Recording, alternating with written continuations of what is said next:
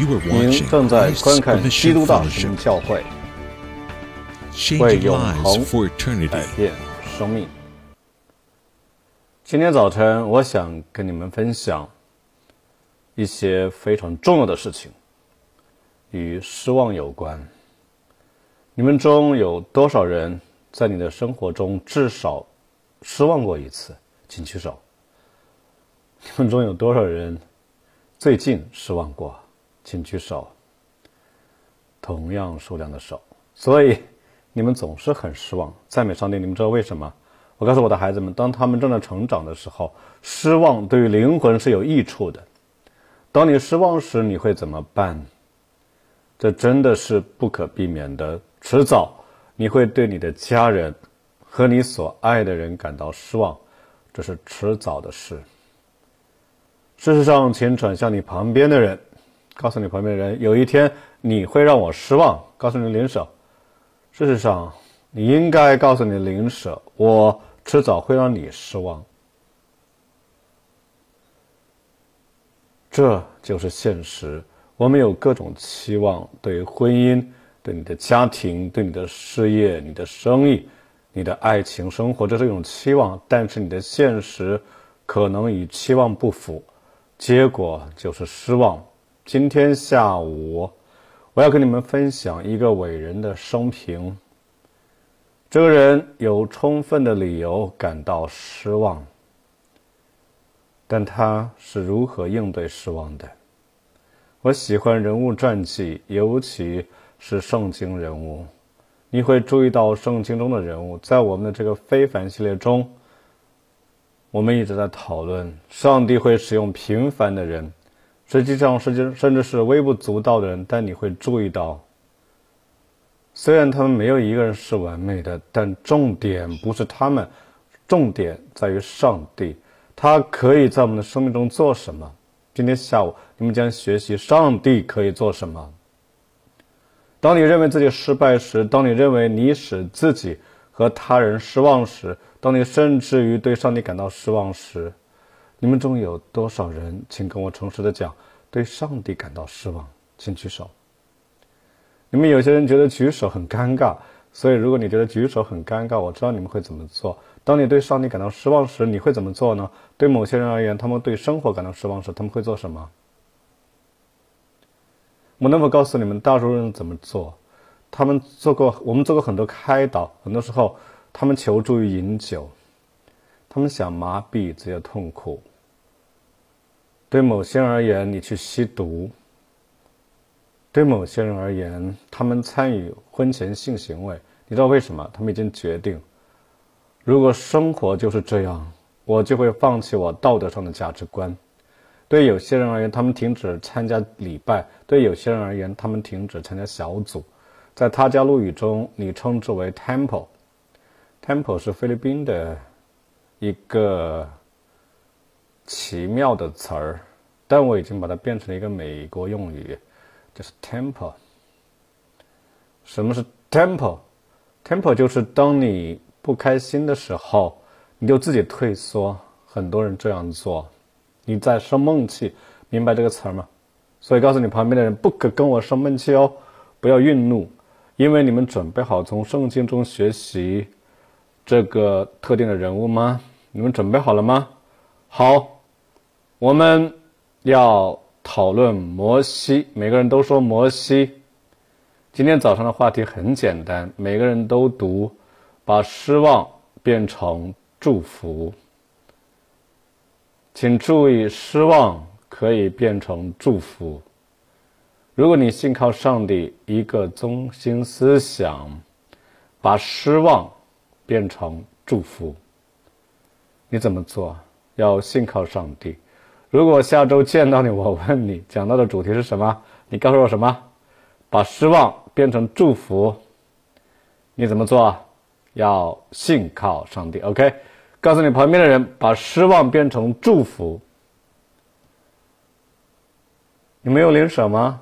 你不喜欢你的灵舍吗？好，对你旁边人微笑，看看你的灵舍，告诉他们。把失望变成祝福，要信靠上帝。OK，好，我的大纲很简单，我们将讨论摩西一生的三个阶段。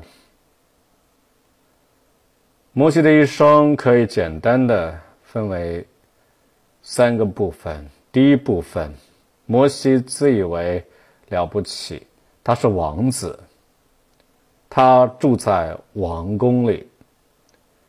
摩西一生的特点是世俗的教育，依靠自己。摩西是冲动的，这是摩西生命的第一部分。摩西生命的第二部分，他意识到。他是一个平常人，他逃跑了，他成为了一名逃犯。这记载在出埃及第二至四章。在这段逃跑的过程中，你注意到了什么？这一段旷野的经历，孤独、默默无闻、反思，那是摩西在旷野从四十岁到八十岁。圣经告诉我们，在他八十岁时发生一些事情。他发现上帝可以将一个啥也不是的人变成一个了不起的人，上帝可以非凡的使用一个人，这就是摩西所发现的。从出埃及的第五章到生命期结束，你们可以想象吗？我将在一次讲道中讲述圣经五卷书中讲到的摩西的一生。如果你们觉得我讲的太快了，没问题，你们去看我以前的视频。我以前讲的关于出埃及记的信息还记得吗？我们讨论过出埃及记，你们回去更多的了解摩西。但与此同时，今天的内容可以为你们归结为：你们可以从摩西人生的不同方面学到什么？那么我们要怎样描述今天的讲的信息？主题是什么？你可以将失望变为祝福。通过什么？信靠上帝。你如何学会信靠上帝？你看看摩西一生的前四十年，我们会看第二个四十年，四十到八十岁，我们会看摩西一生的最后四十年，从八十岁到一百二十岁。你们准备好向这个了不起的人学习了吗？好，让我们开始吧。圣经告诉我们，先让我给你们快速的讲一下背景吧。曾经有。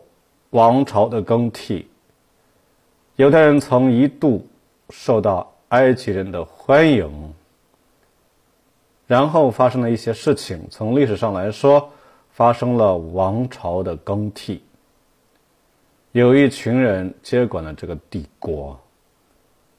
圣经告诉我们，埃及的新王不知道约瑟，他们不了解历史，因此新政权。不喜欢犹太人，他们将犹太人视为威胁，因此他们推出了压迫性的法律，从此开始出现种族灭绝、杀害婴儿。杀害儿童并不是什么新鲜事，几千年前就开始有了，所以有了一项法令，规定所有出生的犹太人，如果他们是男性，他们都应该。被扔进河里面，他们应该被杀死。这就是摩西出生时的背景，那个时候的背景。这位男孩出生时是危险的，圣经告诉我们，这对父母决定做一件不同的事情，所以他们试图保全摩西，你明白吗？所以这里有婴儿期的摩西，后来不能再藏，就取了一个蒲草箱。抹上石漆和石油，将孩子放在里头，把箱子搁在河边的芦荻中。孩子的姐姐远远地站着，要知道他究竟怎么样。你们可以想象这幅画面了吗？现在摩西被放在一个篮子里，篮子抹上了石漆，使它防水。他们正在观察这个篮子将如何顺流而下。现在这是你需要学习的地方。当你对政府感到失望，当你对政策感到失望，当你对所发生的事情感到失望，就像这个家庭，你必须做什么？要信靠上帝。你知道为什么？因为上帝知道发生了什么。圣经告诉我们，看看在背后发生的惊人的事情。每个人都读，正巧法老的女儿。来到河边洗澡，事情的发生就是这么巧，恰巧他看到了篮子，恰巧他打开了篮子，他看到了孩子，看呐，这男孩在哭，每个人都读，他就可怜他。你能否看到上帝是如何做工的？上帝对于时间的把握是奇妙的。告诉你的灵舍要信靠他，信靠上帝。上帝对于时间的把握是奇妙的，你可能没有意识到这一点，但是上帝在工做工。圣经告诉我们，他的姐姐对法老的女儿说：“我去在希伯来夫人中叫一个奶妈来为 你奶这孩子，可以不可以？”现在你们明白，在菲律宾文化中，我们有丫丫，我们有保姆，这没有什么新鲜的。法老的女儿说什么？法老的女儿说：“可以。”女孩就是叫谁？孩子的母亲。孩子的母亲成为了丫丫。不仅如此，圣经告诉我们，法老的女儿对他说：“你把这孩子抱去，为我奶他，我必给你工价。”你能想象吗？照顾你自己的孩子，你得到报酬，上帝是不是很奇妙？上帝是不是在掌权？我告诉你们，他可能似乎没有在掌权，但如果你看摩西的生活，你会学到关于上帝的某些方面。我们的上帝是不是很伟大？上帝是不是很奇妙？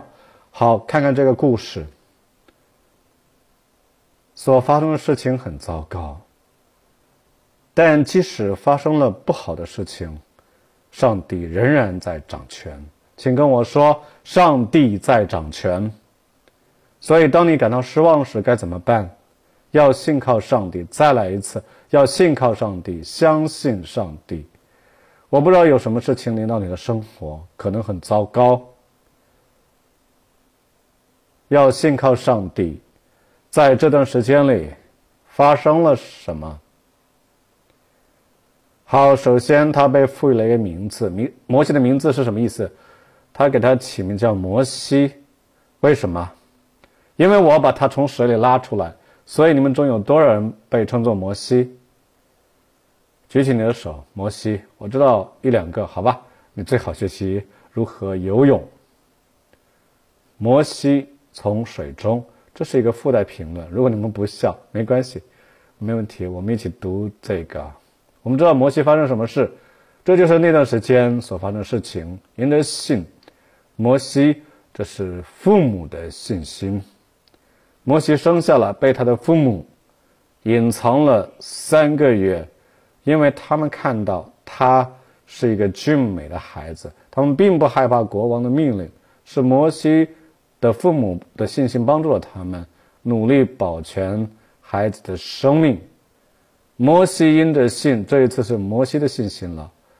他长大了就不肯称为法老女儿之子。现在发生了什么事儿？摩西长大之后，为什么决定不做王子？好，让我们找出原因。圣经告诉我们，摩西宁可和上帝的百姓同受苦害，也不愿暂时享受最终之乐。女士们、先生们，生命乃关乎选择。摩西做出了一个艰难的选择。圣经告诉我们，他宁愿忍受苦害，也不愿暂时享受最终之乐。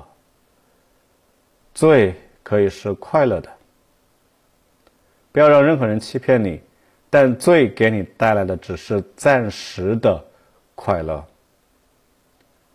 摩西是智慧的，圣经告诉我们。他看为基督受的凌辱，比埃及的财物更宝贵，因他想望所要得的赏赐。他因着信就离开埃及，不怕王怒，因为他恒心忍耐，如同看见那不能看见的主。摩西做出了艰难的选择。现在令我惊讶的是，是谁教导摩西认识上帝？谁教导摩西说？他的身份属于上帝的子民，而不是埃及人。是什么让摩西违背了他那个时代的文化？答案是什么？你们是怎么认为的？醒来，请唤醒你旁边的人。我再问你们一个问题：你觉得是什么让摩西违背那种文化，与埃及人作对，并站在他自己的民族的这一边？回答是父母。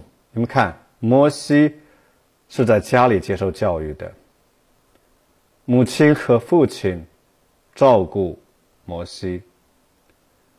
尽管这段时间可能并不长，但父母的影响是如此强大，以至于他可以克服世俗世界的教育。我是什么意思？让我们看看圣经。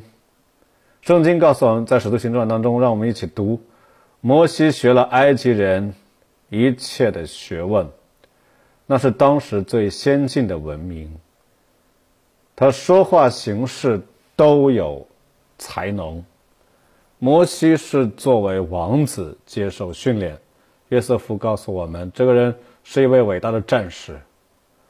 摩西在他那个时代。最好的大学接受教育，但是当他更小的时候，是谁在教导他？回答是父母。我想请父母们站起来，所有的父母请站起来，所有的父母站起来。父母们，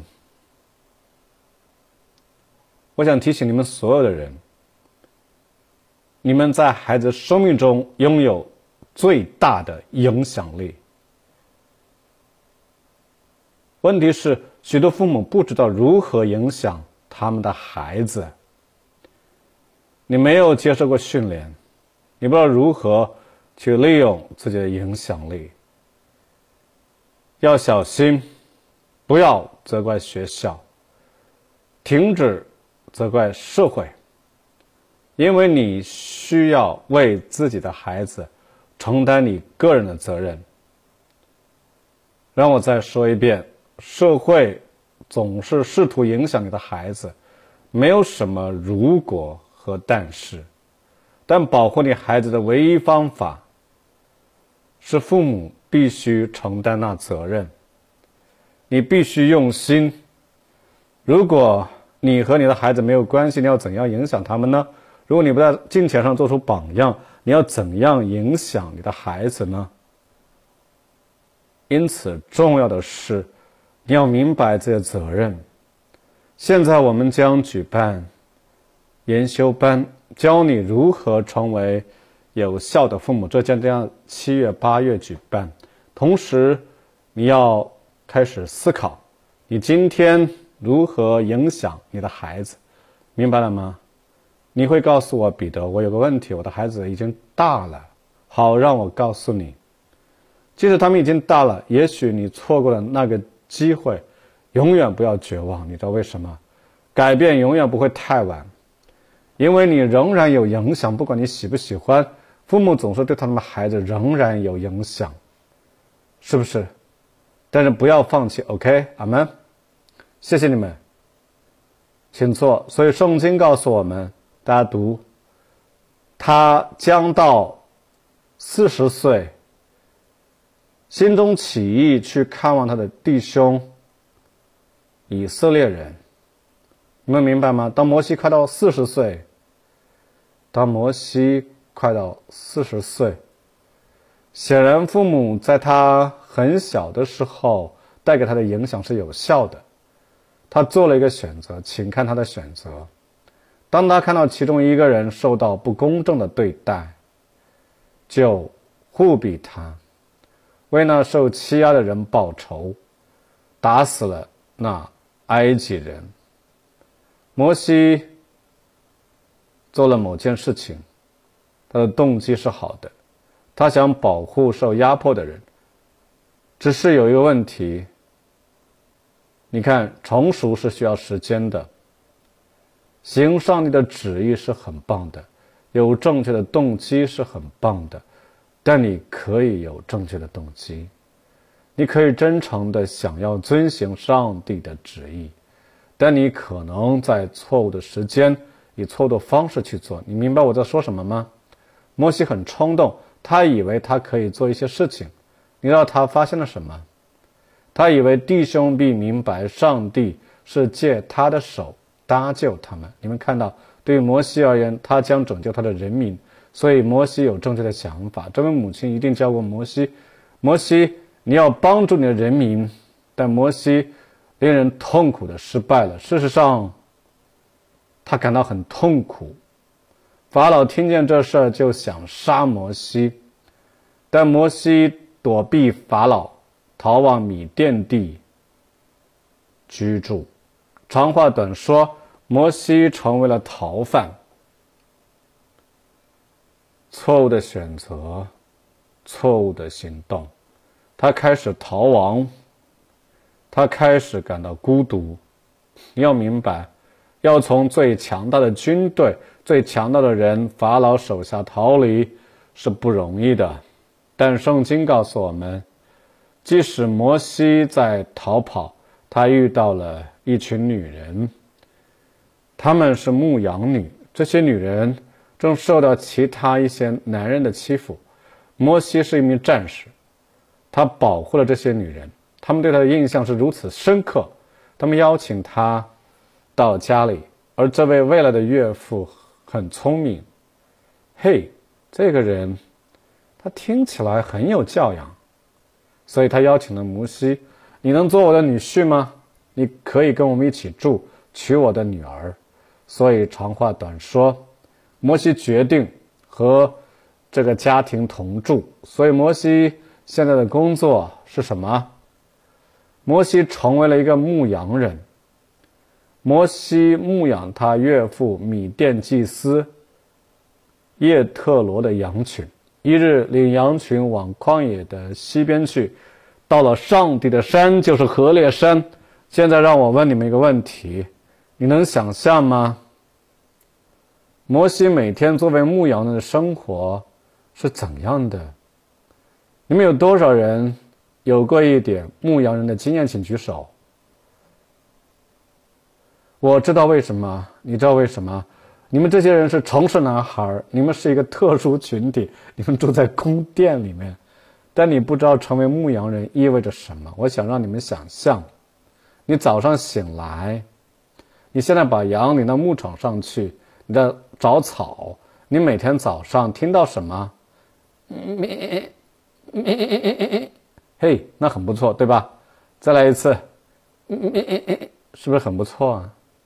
现在想象你每天这样打四十年，每天这样做打四十年，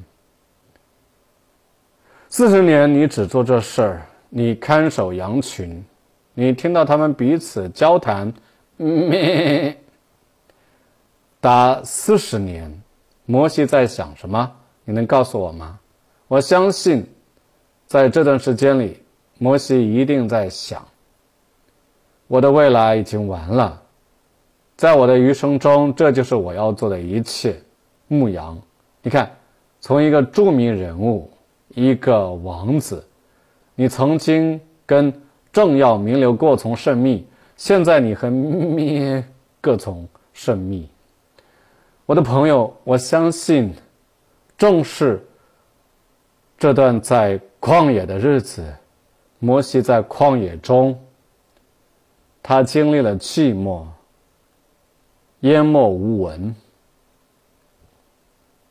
朋友，我不知道什么事正在你的生命中发生，但你们中的一些人可能正在经历旷野。你的事业没有起色，你的爱情生活平平淡淡。你的生活波澜不惊，好像都停滞了。牧羊人什么都没有。就在这时候，你想要放弃，你觉得不再有未来。我能否提出建议？就在这个时候，上帝会教你一些关于人生的最伟大的课程。你知道为什么？我们需要学习静默的功课。孤独的功课，默默无闻的功课。有些人拒绝经历旷野，有些人拒绝经历旷野。就在今天早上，有有人告诉我他的生命中发生了什么。他告诉我：“彼得，我正在教圣经。我总是站在台上。我记得你告诉过我，因着所发生的事情，他提醒我停止教圣经一段时间，停止带领任何小组，要花时间与主在一起。”你看，我已经忘记了我告诉过他这话。他说：“正是这一段旷野经历的时间里，我遇见了主，与主有了最伟大的亲密关系。你知道为什么？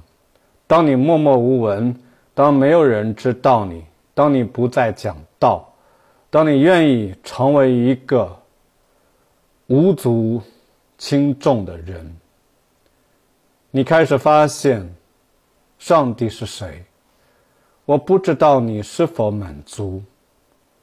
如果你不再被赋予任何事工，你没有任何工作职位，如果将这一切都拿走，并且你所拥有的只是主，你会满足吗？你会快乐吗？这是为什么？我告诉别人，在旷野经历当中要珍惜。我记得我自己的经历，在多年以前。当我住院的时候，你知道，当你在病房的时候，你有沉默，你有孤独，你孤身一人。在这一刻，我可以清楚的听到上帝告诉我要做什么。我相信上帝在对我们说话，但问题不在上帝这里，问题是我们太忙了。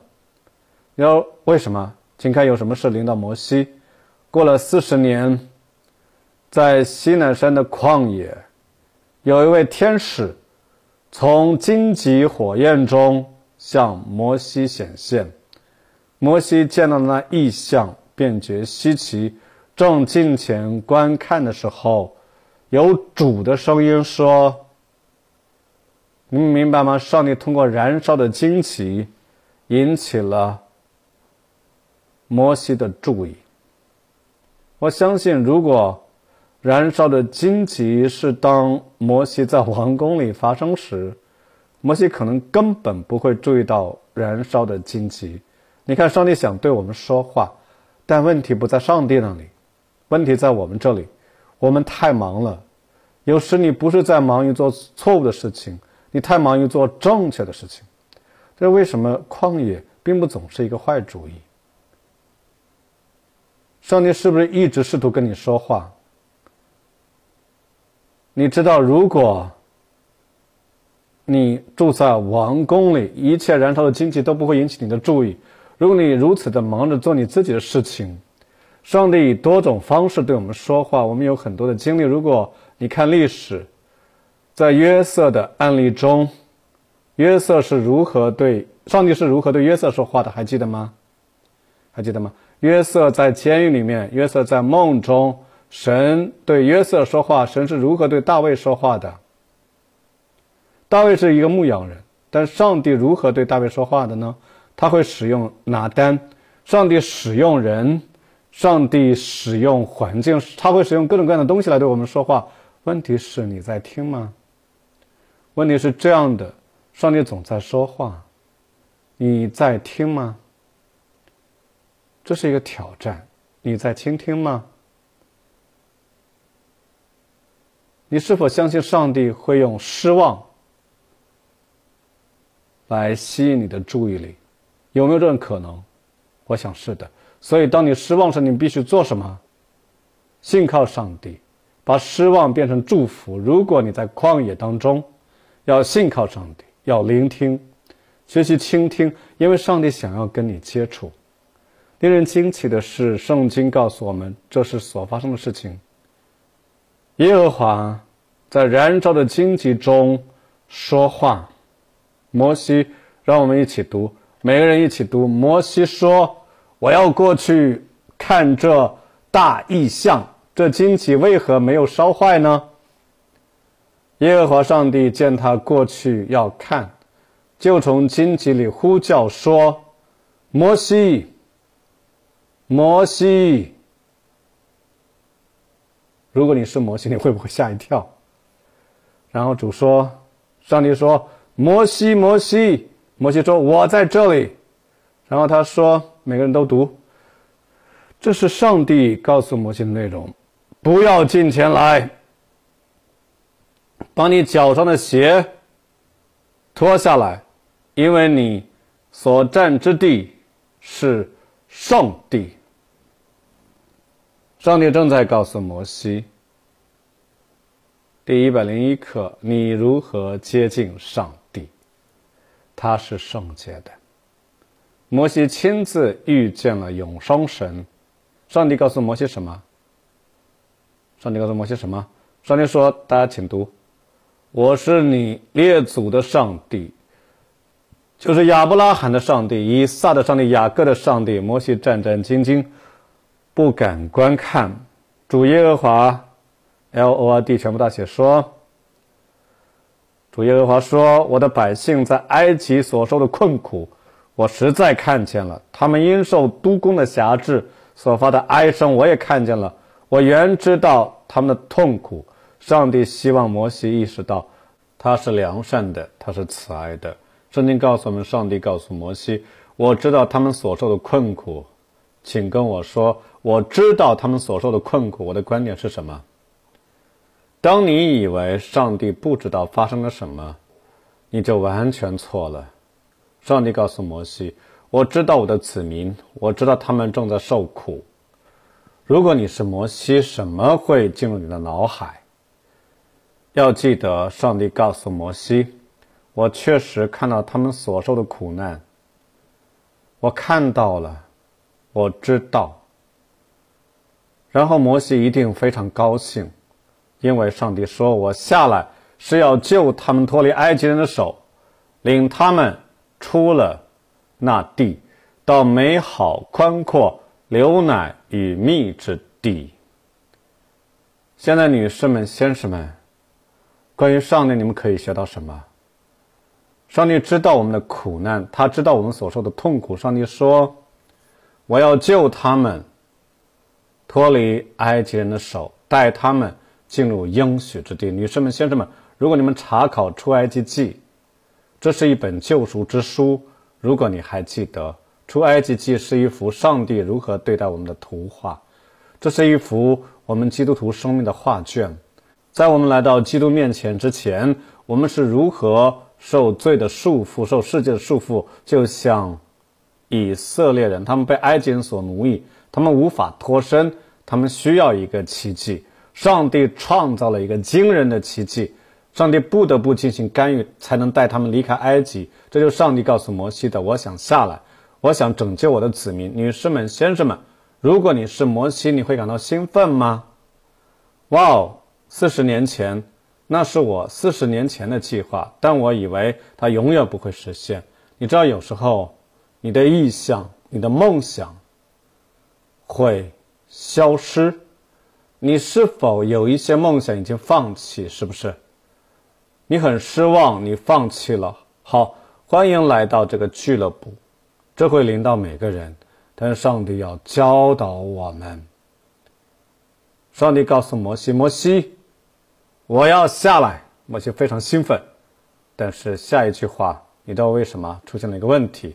上帝说：“我要下来。”摩西肯定会说：“哈利路亚。”然后上帝说：“所以我会打发你。”抱歉，你说你会下来的。上帝说：“我来了。”上帝说：“我来了，我要打发你。”关于上帝，你能学到什么？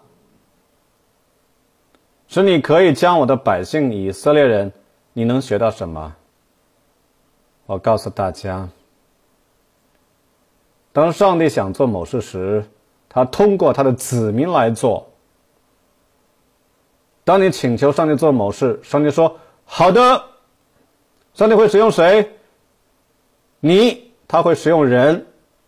摩西正在学习，你会拯救这些人，对吧？上帝说：“对了，你，你去做。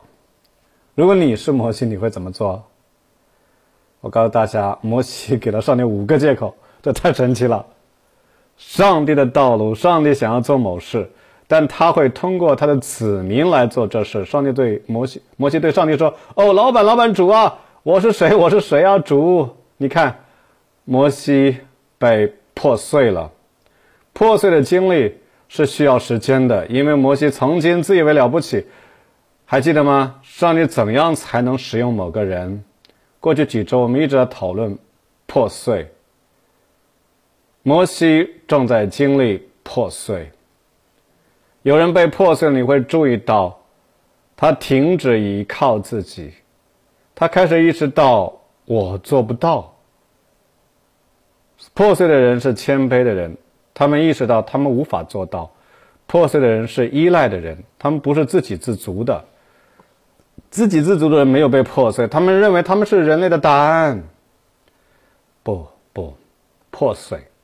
主啊，你是答案，不是我是摩西。摩西说：“主啊，我是谁？”当然，上帝知道，上帝知道你是谁。你没有什么了不起，我知道。但上帝的回答，请每个人都读：“我必与你同在。”你知道破碎，你开始意识到，上帝就是你所需要的一切。请注意，摩西给了上帝五个借口。第一个借口，我是谁？第二个借口，他叫什么名字？如果人们问我你是谁，我应该对他们说些什么？第三个借口，他们不相信我或不听我的话，我该怎么办？你们看到了吗？这些都是合理的借口。主要你想要我去吗？我会去，但如果他们不相信我怎么办？这些是合理的借口吗？肯定的。第四个借口。我从来都没有口才，我是拙口笨舌的。现在不要责怪摩西。圣经说他的言语大有能力，为什么过了四十年后，他说我拙口笨舌呢？我告诉你是为什么。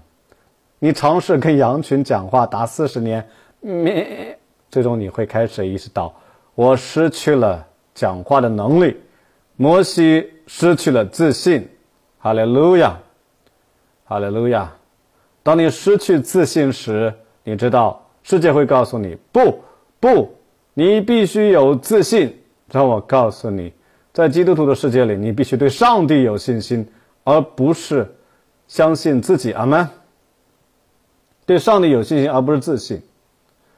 上帝正在将摩西带到这个地步，真正的祝福将会来到。接着，你的失望和失败。你被驱使归向主。现在他他最后一个借口是不可接受的。圣经告诉我们，看看他最后的借口：主啊，你愿意打发谁，就打发谁去吧。主啊，你打发谁去都行，但不要打发我。这一次，上帝生气了。当摩西给出各种借口时，上帝唯一一次生气是当他不顺服时。赞美上帝，上帝没有放弃摩西。我来总结一下上帝对摩西的各种借口的回应。你知道上帝是怎么回应这些借口的？上帝说：“我就是答案。”甚至当摩西说：“我不会讲话。”上帝说：“谁造了嘴？谁使人耳聋？谁使人目盲？”是谁造了你的口？你看，上帝在告诉摩西：“摩西，我将成为你的口。摩西，我要教你当说的话。摩西，你这个能力不够吗？没问题，我会和你同在。赞美上帝，他是我们的充足。阿门。所以听我说，今天讲的主题是什么？当你失望时，你必须做什么？信靠上帝。你怎么信靠上帝？请看上帝对时间的把握，他对时间的掌握真是奇妙。”四十年，又过了四十年之后，到这个时候，摩西多大了？让我们读一下。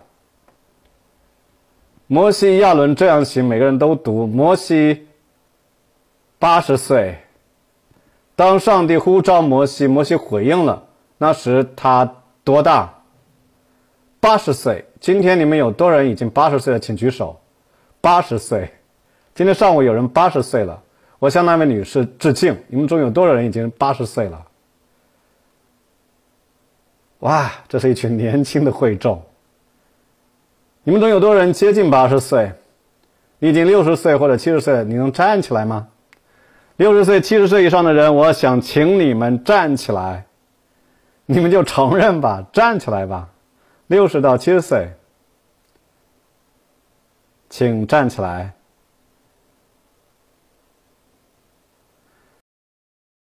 我的天呐，吉姆，你已经六十岁了。OK，现在听我说。根据研究。一个人一生中最富有成效的年龄，你能猜到吗？是六十岁到八十岁。根据研究，世界上最大公司的顶级的 CEO 平均年龄超过六十岁，诺贝尔奖获得者平均年龄超过六十岁。教皇的平均年龄超过七十岁，所以我的朋友，你们仍然有希望。OK，我的朋友，不要退休，最好的年份尚未来到。阿门。所以赞美上帝，我想鼓励你们，不要考虑退休，请坐。摩西在多少岁时开始侍奉上帝？八十岁。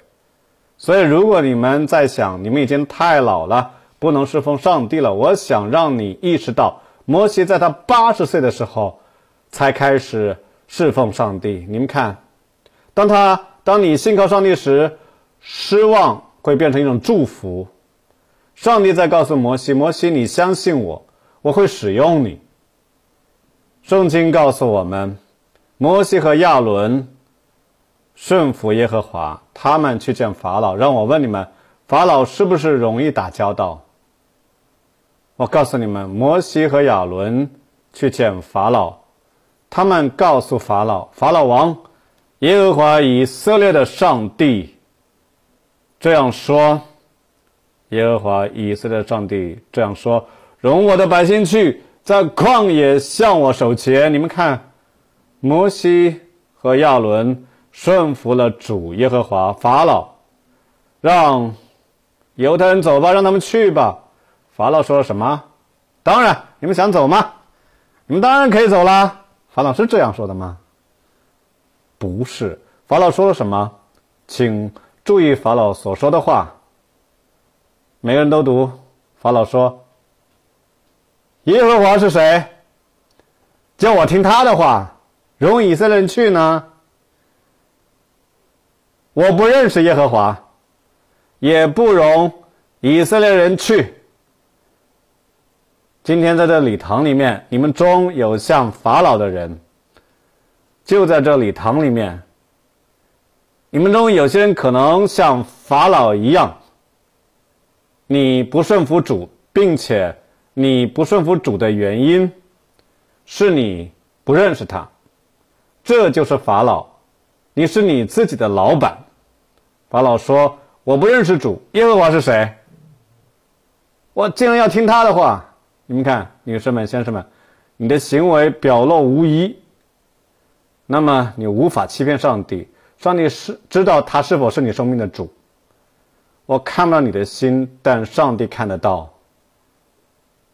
这就是我所关心的。在我们中间有法老。”你必须谦卑你自己，并意识到，我以为我是个基督徒，其实我不是基督徒。我以为我是耶稣的跟随者，但你有的只是宗教。法老非常虔诚，法老崇拜许多的神，但法老所没有的是，他不认识真神。所以法老只是说：“我绝不会遵从耶和华。”为什么？我不认识他。所以，女士们、先生们。当人们不遵从上帝的话语，当人们不服从上帝时，你必须更加深入。有可能他们有宗教，但他们没有耶稣，但他们没有耶稣。上帝知道这任务会很难，这就为什么上帝想要使用某个人，一个完全向他降服的人。摩西在前四十年里面很棒，但他不可用。摩西没有放弃他自己的野心、他的生命、他的风格。摩西不堪使用，即使上帝想要使用他，又花了四十年。这样摩西才被破碎，这样摩西才完全降服。现在摩西八十岁了，他已经准备好听从上帝了。请看发生了什么？圣经告诉我们。上帝使用了摩西，首先遇见法老，上帝告诉摩西：“你会行神迹，很多的神迹来说服法老，把水变成血，青蛙来到地上，狮子到处都是，苍蝇真是神奇。”当上帝告诉摩西：“你告诉法老，这些苍蝇会困扰你。”你们知道，苍蝇充满了埃及的土地，只有以色列人所在的歌山地除外，真是奇妙。苍蝇服从上帝，上帝是不是在掌权？真是奇妙。埃及人的所有牲畜都死了，但是上帝保护了以色列人的牲畜，真是奇妙。疮灾，你们知道疮让人很痛苦的，但以色列人身上没有。雹灾，我的天哪！冰雹杀死人，杀死牲畜，但是没有落在以色列人的地图上。蝗虫到处都是，黑暗笼罩遍地，只有歌山地除外。这怎么可能？我告诉你们，上帝是不是很奇妙？让我问你们：你们能信上帝吗？大声点！你能信靠上帝吗？上帝伟大吗？上帝有大能吗？请看，投生的，所有投生的都必须死。你们知道，这太神奇了。上帝告诉摩西，法老会很固执，他不会让人走，直到最后一场瘟疫。最后一场瘟疫是什么？所有投生的都会死，我能否请所有投生的人都站起来吗？所有投生的人，请站起来。你们都有一个投生的，理论上，每个家庭都有一个投生的。现在，如果你的家庭中有两个投生的，我很惊讶。好，所有投生的人，请听我讲。据耶和华说，他告诉摩西去告诉每个人。所有投生的，有什么事会临到你？你会死。所有投生的，除非你想被保全生命吗？投生的人，我现在想让你们想象，你们在那个里面宣布来了，所有投生的都会死。我认为他们不会笑，我觉得他们会很害怕，对吧？你想保全生命吗？这是解决方案。你想知道解决方案吗？我想强调这个特定的神器。你知道为什么？我想向你们显明，信任上帝意味着信任他的道路。你可能不明白，但你要信靠他。所有投生的，请读，这是解决方案。所有投生的。于是摩西召了以色列众长老来，你们要按着家口取出羊羔。把这逾越节的羊羔宰了，你们必须宰越节的羊羔。出来记解释说，逾越节的羊羔必须没有瑕疵。请阅读下一节。拿一把牛膝草蘸盆里的血，打在门楣上和左右的门框上。你们谁也不可出自己的房门，直到早晨。这指示是什么？宰杀羊羔，将血放入盆中，并使用牛膝草。牛膝草是一种植物，将其蘸入血中。你用这血干什么？打在你房子外面的门柱上，打在门柱上。然后上帝给出了一条应许，大家读：耶和华要巡行击杀埃及人。当他看到门楣和门柱上的血的时候。耶和华就会就必越过那门，所以逾越节这个词来自这个历史事件。当死亡天使来到埃及时，当他看到这些时，他会越过去。请注意这应许，不容灭命的进你们的房屋，击杀你们。这里你们要守着，作为你们和你们子孙永远的定力。这是一个历史事件，直到今天，犹太人一直在实行。很多年前，我在纽约市受到犹太律师的招待，律师带我。到他家，我们经历了逾越节的仪式。现在让我问你一个问题：如何保全这些投生之人的生命？答案是：醒过来。你的答案是什么？当你将血打在门框上，这些埃及人死了，不是因为他们是埃及人，以色列人或拯救。不是因为他们是以色列人，他们或拯救不是因为他们富有，他们或拯救不是因为他们有钱，他们或拯救不是因为他们是好人，他们或拯救仅仅因为一个原因：血。当我看到血时，我会逾越过去。女士们、先生们，几百年后，两千年前。在逾越节期间，耶稣为我们做了什么？在逾越节期间，当所有的犹太人都在寻找一只羊羔用来宰杀，耶稣选择了逾越节这个日子，告诉人们：“我是上帝的羔羊，你们的罪被赦免了，因为我会流我的血。”换句话说，魔鬼的权势因流血而被打破。那是因着耶稣，没有其他的救恩。这是一个奇妙的故事。摩西被上帝使用去传福音，你们明白吗？女士们、先生们，你们因这些而得蒙拯救。犹太人因为这些而得以自由。上帝是不是很奇妙？请坐。现在你能学到什么功课？是这样的：上帝使用摩西来行这些惊人的神迹，但你注意到什么？你注意到一件事情：这不是摩西的能力，而是耶和华的能力，不是摩西的方法。不是摩西的智慧，一切都是源于上帝。但上帝想要使用人，上帝想要使用你。问题是你可用吗？你不可用，直到你学会被破碎。破碎的途径很多时候是通过失望。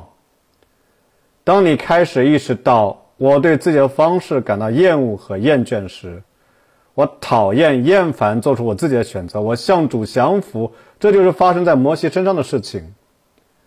摩西意识到他什么都不是。你们能想象所有这些神迹吗？女士们、先生们，摩西永远不会知道上帝能够做什么。如果他不服从他，你永远不会知道上帝在你的生命中通过你的生命能够做什么。除非你顺服他，你将不会经历上帝在你的生命中通过你的生命所行出的大能。你不会经历神迹在你的生命中通过你的生命作为一条规则，直到你学会信靠上帝并且顺服。信靠上帝意味着什么？顺服。听我说，如果你一直告诉我你信靠上帝，你相信上帝，但是你不顺服，那你在告诉我什么呢？你有宗教信仰。但你并不真的信靠上帝，信靠意味着顺服。请注意，上帝使用摩西写下十诫，上帝使用摩西写下圣经的五本书，立起帐幕，这些都是奇妙的故事。我建议你们回去看以前的视频，并听那些讲道。但是请注意，当我们快要结束时，我想问你们：摩西最大的愿望是什么？他为了什么而祷告？摩西为什么祷告？你们刚刚祷告了吗？你有没有默默的祷告？好，只有一个人在祷告。好，赞美上帝。现在听我说，你为了什么而祷告？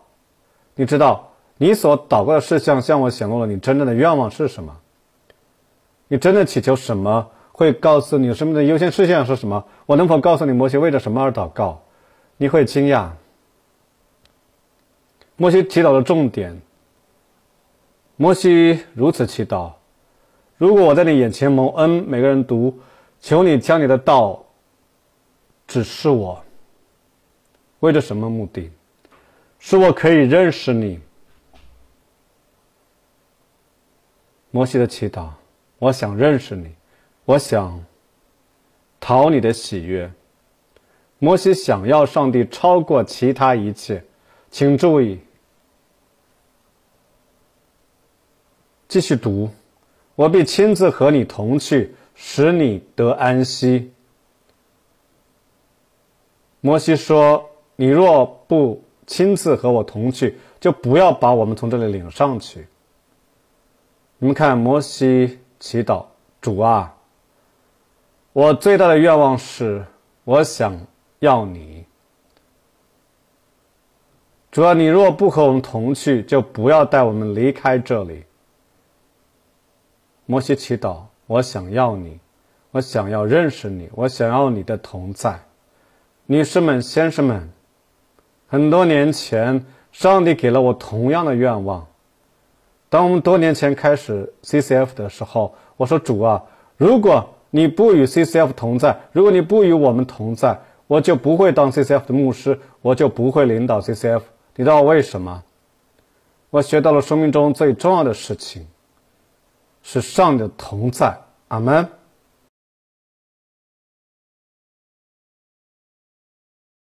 这一直是我的祈祷。我说：“主啊，如果你不再与 CCF 同在，我就不在这里了。”你知道我祈祷什么？就是愿上帝与你们同在，上帝与你们家人同在，上帝临在在你的事业中。上帝临在你的工作中，上帝临在你的事工中。问题：你所做的事情中有上帝的同在吗？你会注意到，你不会看到摩西的祷告，一直到他八十岁。那是摩西发现他生命中最伟大的事情是上帝。朋友。如果你有上帝，你就拥有一切；如果你没有上帝，你就什么都没有。看看摩西的祈祷，摩西之后还有一个祷告请求，我能告诉你们他的祈祷请求吗？他真的想要上帝。摩西说：“我祈祷。”耶和华对摩西说：“你这所求的，我也要行。”但摩西说：“求你显出你的荣耀给我看。”现在有多少人像那样祈祷？主啊，我想要认识你，求你向我显出你的荣耀。朋友们，你对上帝的渴望是由你渴望花多少时间和他在一起来衡量的。你的祷告生活，我的祷告生活是一个温度计，它向我显明了我们对主的渴慕程度。我的祈祷是 CCF。我们所有人都真的渴慕上帝，我们想要他。阿门。你想将失望变成祝福吗？你必须做什么？信靠上帝。信靠上帝是什么意思？你要顺服他。信靠上帝是什么意思？你渴慕他的同在，你必须想要他。你怎么能信靠上帝？你怎么能相信一个人？如果你不相信他，如果你不爱他，你不想要他。摩西的最后考验，是他最后的。一个请求，你们知道摩西最后的祈祷请求是什么吗？他想去到应许之地。主啊，我祈祷，求你容我过去看约旦河那边的美地，就是那佳美的山地和黎巴嫩。你们知道，摩西恳求上帝主啊，帮助我，我想进入应许之地。你们知道什么事情如此奇妙？但耶和华因你们的缘故向我发怒，不应允我，对我说：“罢了，你不要向我祈祷，再提这事儿。你且上到皮斯加山顶去，向东西南北举目观望，因为你必不能过这约旦河。上帝不允许摩西进入应许之地。现在。”如果你是摩西，你的感受如何？你想象一下，一百二十年之久，那一直是你的目标，带百姓进到应许之地。在二十年之后，上帝说：“对不起，你不会进入应许之地。”你会有什么样的感受？诚实的讲，你会有什么样的感受？失望。你看我的朋友，你对失望的。处理能力跟你与上帝的亲密程度成正比。如果你与上帝关系亲密，你可以处理失望。你知道为什么？你可以说：“主啊，那是我的梦想，那是我的希望。但如果你不把它给我，没关系。为什么？我相信你。”摩西发生什么事儿？你们想知道他发生什么事儿吗？上帝告诉摩西：“你却要嘱咐约书亚，勉励他，使他胆壮，因为他必在这百姓前面过去，使他们承受你所要观看之地。换句话说，摩西，你不会得到荣誉，你不会得到那种荣耀，那将会是他们的你的门徒约书亚。现在，如果你是摩西，你会说什么？主啊，主啊，你在搞什么？”你会不会大发脾气？你会不会生上帝的气？说主啊，这不公平！我把我的整个一生一百二十年都给你了，但是你拒绝让我带领百姓进入应许之地。摩西没有这样做，摩西是忠心的。圣经告诉我们，摩西服从了耶和华。摩西召了约书亚来，并告诉他：“你当刚强壮胆，因为。”你要和这百姓一同进入耶和华向他们列祖起誓应许所赐之地。摩西鼓励约书亚：“你当刚强壮胆。”看看摩西告诉约书亚的话。摩西说：“耶和华必在你前面行，他必与你同在，他必不撇下你，也不丢弃你。不要惊慌。”摩西发现最重要的事情就是上帝的同在。上帝呼召摩西去告诉约书亚：“约书亚，前进吧！上帝会与你同在，他不会让你失败。”摩西有没有鼓励约书亚？有。一个真正的领袖会有继任者，一个没有继任者的领袖不是成功的领袖。摩西是成功的，你知道为什么？摩西学到了主啊，重要的是你想做的事。而不是我想做的事，那就是破碎。摩西有没有进入应许之地？你们有多少人说是？有多少人说否？你们有多少人说没？摩西没有进入应许之地，请举起你的手，举高点。哇哦，很多人。你们有多少人说摩西进入了应许之地？请举手。好，正确答案是什么？摩西进入了应许之地。你们知道吗？我不是在编造。好，让我跟你们分享，这对我来说非常感人。我每年都带人去尼泊山，每年我们都去这个地方。摩西从尼泊山平原上到皮什加山顶，到耶利哥对面，耶和华让他看到所有的土地。耶和华对他说：“这就是我向亚伯拉罕、以撒、雅各启示应许之地，我必将这地赐给你的后裔，你却不得过到那里去。”这是我们所拍的照片，我们在尼泊山拍的照片。上帝向摩西展示了所有的土地，但是摩西，你只能看，不能进入。圣经告诉我们，摩西死时一百二十岁，他的眼睛没有昏花，他的眼睛没有昏花，精神没有衰败。换句话说，就体力而言。摩西仍然可以进入应许之地，摩西仍然可以领导这百姓，但上帝说不，我对你有其他的计划。以后以色列中再没有兴起先知像摩西的。他是耶和华面对面所认识的。摩西与上帝亲密，摩西认识上帝，他降服了。但摩西有没有进入应许之地？有。让我告诉你们，让我告诉你们各位，过了六天，耶稣带着彼得、雅各和雅各的兄弟约翰，暗暗的上了高山。耶稣就在他们面前变了形象。大家请读，看呐，摩西和以利亚出现了，出现了。摩西在哪里出现了？摩西在哪里出现了？在应许之地。摩西有没有进入应许之地？是的，但不是在他的时间，而是在上帝的时间。你们知道这首歌吗？在他的时间，在他的时间，他使所有的事物变得美丽。